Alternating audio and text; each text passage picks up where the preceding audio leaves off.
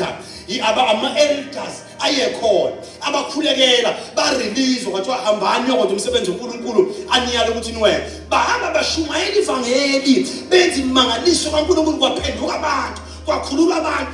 Kuhamba abantu abasenkazimulweni kankulunkulu kwakhululwa abantu kwasindiswa abagulayo kwenzeka yonke le mangaliso ibhayibheli lisho ukuthi abakholwa yimangaliso ney'bonakaliso ziyabalandela. Zenzeka. Bathe basebephendukile abantu basho ukuthi kuphenduka abantu bezizwe. Hhayi emajusi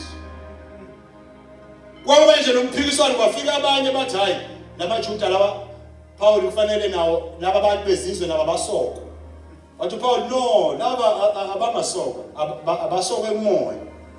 Bangasokwa ngokosiko lamajuda. Kwaba nekhwiri manje. Bathiwa asibuyele emuva.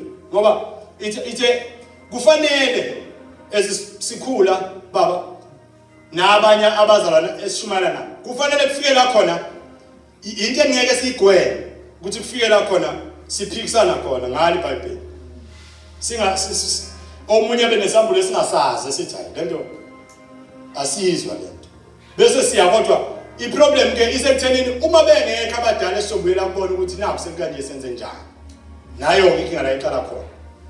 Lithi ibhayibheli laba ba- bathi asibuyele ejerusalem babuyele ejerusalem bafika kuyikhansela bafica opetro nojakobe behlezi wachaza uphawula ukuthi sibona abantu besindiswa sibona abantu bamukela amandla amangcole njengathi. Manje laba bantu inkinga sekuvele abanye phakathi kithi bathi abasokwe mina ngithi abangasokwa kwathiwa awuyichaze le nto yakho paul bengasokwa kanjani? Wachaza uphawula ngoba wayenesambulo unkulunkulu emnikezile isambulo ngaphezu kwabo bonke. Kuthe uma echaza bemlalele nabo ngomoya bengajahi ukumphikisa bezwe ukuthi lento ayishoyo iyayenza isenze ibhayibheli balula izandla bathi no paul done. Lento eshoyo futhi icacile isimpulu la abantu abangasoka ngoba vele bona basiya amajuda thina soka ngokosiko lakamajuda nangokomthetho kamose asibakhiphe kulento nayo into okufanele yenzeke ithi ibhayibheli ujames wathi madoda bazalwane lalelana nayo into okufanele mina ngisikhulele ukuthi laba bantu abangaqhinwa ngayo yonke lento engamasiko ethu. Laba bantu into okufanele betshele yona ukuthi number one abadede kulezi zinto eziwu-four. Lezi lezi u-four number one wathi abangabi besakhonza iy'thixo abangabi nabanye unkulunkulu. Abangakhonzi ezinye izinto bebe bekhonze nonkulunkulu. No abaphume lokho ngoba unkulunkulu unkulunkulu onomona. Akafuni ukubhanqwa nabanye unkulunkulu. Number two laba bantu abangakudli okuqumbeleneyo isilwane esiyifele nje safa siqumbelene bengasidli besilahle ngoba sinegazi phakathi. Number three bengalidli igazi. Why? Why bengalidli igazi? Bengasidli isilwane esinegazi phakathi. It was because umthetho ukuthi isi umphefumulo wesilwane. Usegazini laso uma bedla isilwane esifile esinegazi phakathi badla umphefumulo wesilwane. Unkulunkulu-ke ethi abangayidli lento ngoba bekuyipractice eyenziwa ngabantu bezizwe abangazani nonkulunkulu. Balunkulunkulu bengadli izinto ezife bengalidli negazi. Le nto abantu bakhongozela igazi befake iplastic belipheke bethi bethi ubende. Ubende. Igazi straight hayi ubende khona ubende enkomeni.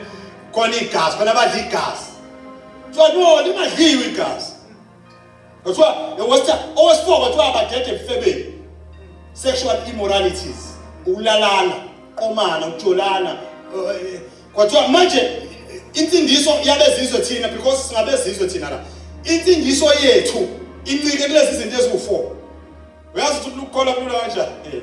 ukukholwa kahle phambi kankulunkulu thina nje. Ibandla labhala incwadi kwathiwa masiphume nje kulezi zinto eziwu-four. Singakhonzi abanye unkulunkulu lapho ekungakhonzini abanye unkulunkulu a- akukhulunywa ngamadlozi kuphela. Eh even imali uyayenza imali ibe unkulunkulu wakho. Uthi uJesu angeke ukhonze onkulunkulu ababili ukhonze uMamona ukhonze unkulunkulu wemali ne- ne- nonkulunkulu ophilayo uzozonda omunye uthande omunye. Ngakho ke khonza unkulunkulu yena yedwa. Ungakhonzi even imali onayo ungakhonzi ngifi? Ungakhonzi unga unga wena namhlanje ke kunkinga kakhulu because abantu they even go enyangeni abazalwana bamba inyanga ngasese. Even ministers we see incenga kaNkulunkulu ezinye zilahla ukukholwa zamukela amandla elsewhere. Khothama kwenye indawo uNkulunkulu uthi ninomona I'm a jealous God. Ningakhonza abanye uNkulunkulu bathi ningadli igazi lezi zinto zabhala phansi. Zabhala phansi.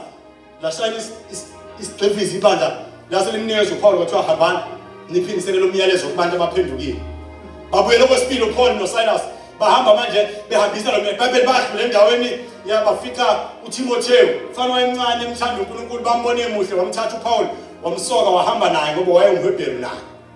Bahamba naye ngenxa yabahebheri abayekhona lapho bahamba beshumayela ibhayibheli bathi bathi bafika endaweni yase yasePisidia bafuna bafuna ukudlula bengene e- e- e- e- endaweni yaseAsiya bashumayele eAsiya. Manje befuna ukungena khona inhliziyo kaPaul ethanda ukuyoshumayela khona. Wathi mawungcwele no awungeni lapho wathi bathi abantu abaphendukile lapha wathi mawungcwele awungeni lapho uthi sajika sathi masibuka ngala sifuna ukungena emisi eme- emisia wathi mawungcwele nakhona angeni lapho. Uthi manje sangazi ukuthi umongcwele uyasinqabela ukuthi ngoba abantu bahamba umongcwele abahamba besenkazimulweni abenzi ngokuthanda kwabo.